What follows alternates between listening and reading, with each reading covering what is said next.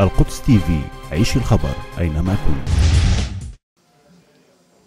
في ظل تقليص كميات الوقود الواردة إلى قطاع غزة والناتجة عن التعسف الإسرائيلي والتقاعس المصري عن إدخال منحة الوقود القطرية فإن الطاقة الإجمالية المتوفرة في محافظات غزة من جميع المصادر ومع تشغيل مولدين من أصل أربعة في محطة التوليد هي نصف احتياجات محافظات غزة.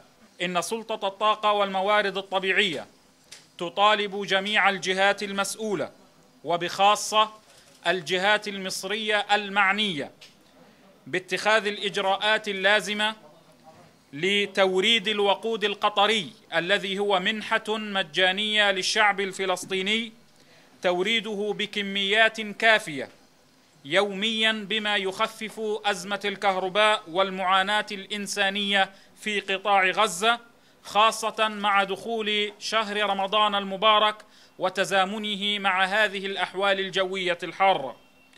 كما ونطالب بالإسراع في تنفيذ مشروع الربط الإقليمي المتفق عليه سابقا مع الحكومة المصرية وكذلك مشروع تطوير محطة الشيخ زويد كما ونطالب سلطة رام الله بتسديد استقطاعات رواتب الموظفين المستحقة عليها منذ حوالي عام ونصف لصالح شراء كميات إضافية من الوقود مع التزامنا في سلطة الطاقة هنا في غزة ببذل كافة الجهود لتخفيف الأزمة والتشغيل الإضافي في محطة التوليد حال توفر الوقود اللازم. تابعونا على مواقع التواصل الاجتماعي فيسبوك يوتيوب وتويتر.